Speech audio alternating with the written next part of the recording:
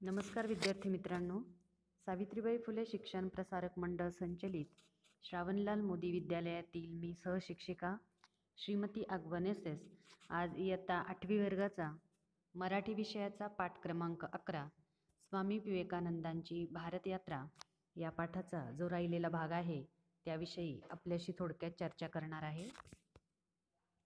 यामध्ये आपण जे घटक अभ्यासणार आहोत ते म्हणजे पाठाचे नाव पाठाचा आशय आणि शब्दार्थ.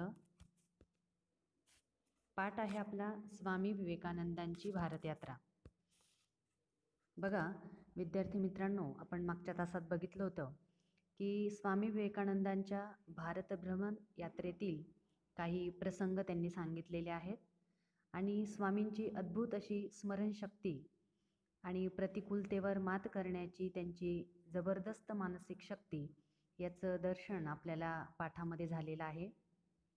आणि भारत भ्रमण करत असताना सर्वसामान्य भारतीय माणसांबद्दलची स्वामींच्या मनातील कळकळ प्रेम आपल्याला त्यांच्यामधून आपल्याला दिसून येते. आता या पुढचा जो भाग आहे तो आपण आता बघूया. बघा जेव्हा स्वामी विवेकानंद कन्याकुमारीला आले तेव्हा त्यांनी कन्याकुमारीचं दर्शन घेतलं. मनाला अतिशय आनंद झाला आणि दर्शन घेऊन ते बाहेर देखील आले. समुद्राच्या काठी उभे राहिले. सगळीकडे अनंत अनंत असा तीन दिशेला सागर पसरलेला होता. एकदम स्वामीजींचं लक्ष गेलं की मध्यभागी एक दीड फरलांग अंतरावर दोन शिलाखंड आहेत आणि ते पाण्याच्या भरपूर वर आहेत. तिथे आपण गेलो तर बघा आता स्वामी विवेकानंद कन्याकुमारीला जेव्हा गेले तेव्हा त्यांनी समुद्राच्या आत एक दीड फरलांग अंतरावर एक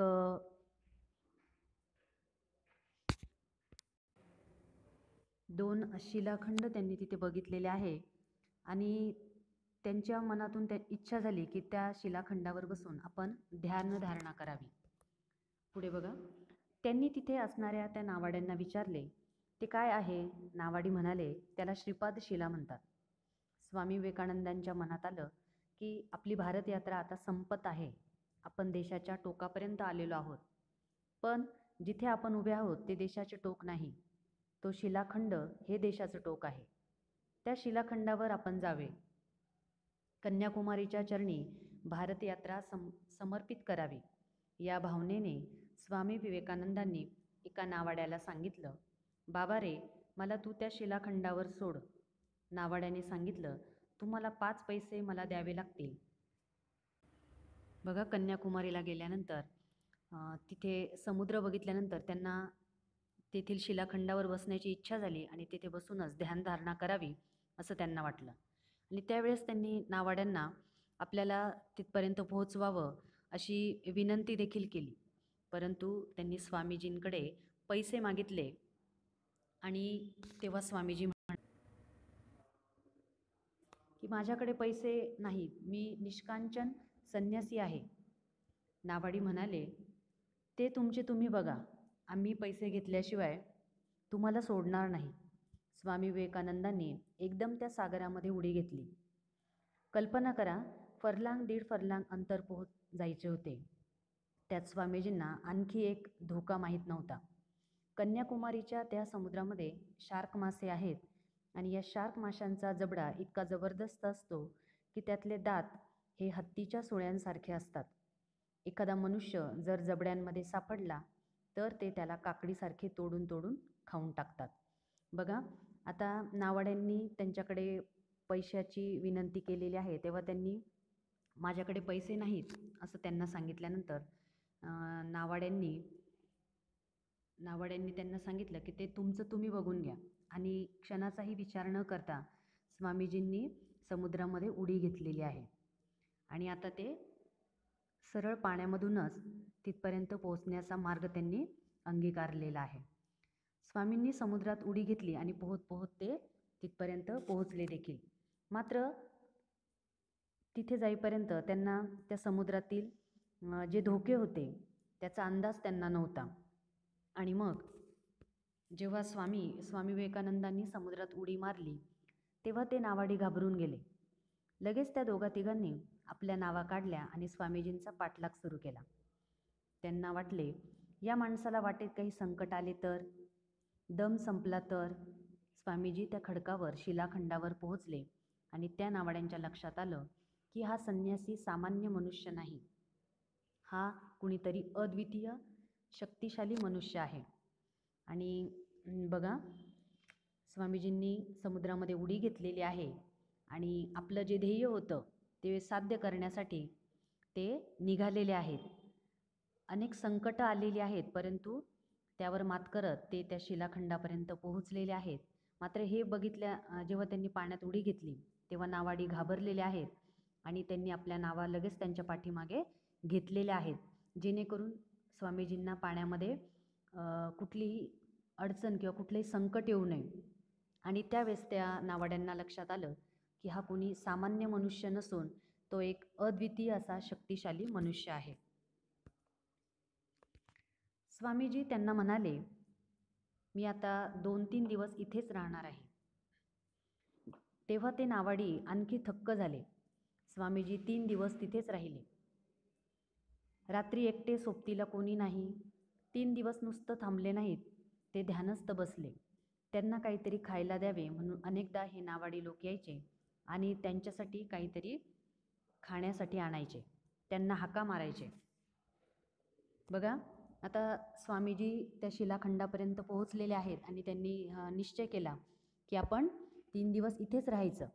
आणि त्यांनी जो निश्चय केलेला आहे तो पूर्ण करण्यासाठी आता त्यांनी सुरुवात केलेली. तिथे बसलेले आहे ध्यानस्थ आणि जेव्हा हे नाव नावाड्यांनी बघितलं तेव्हा ते नावाडी स्वामी विवेकानंदांना काहीतरी खायला द्यावे म्हणून अनेकदा तिथे यायचे. त्यांना हाका मारायचे. पण त्यांच्या लक्षात आलं की स्वामीजी भावसमाधीमध्येच आहेत. त्यांना काही ऐकू जात नाही. त्या नावाड्यांना किती वाईट वाटले असेल की आपण पाच पैशासाठी या माणसाला नाही म्हणून म्हटले. पण त्यामुळे स्वामीजींचा अंतस्थ अग्निप्रदीप्त झाला होता. स्वामीजी म्हणतात जितका विरोध असेल जितकी प्रतिकूलता असेल तितका माणसातला अंतस्थ अग्नी प्रदीप्त होत असतो. अनुकूलतेमुळे माणसातले फूल कोमेजून जाते. त्याला जरा संघर्ष करता आला पाहिजे. थोडी संकटं असली पाहिजेत. थोडा विरोध असला पाहिजे. म्हणजे माणसातील अंतस्थ चेतना फुलते. बघा आता त्या शिलाखंडावर स्वामीजींनी तीन दिवस आणि तीन रात्री ध्यानधारणा केलेली आहे.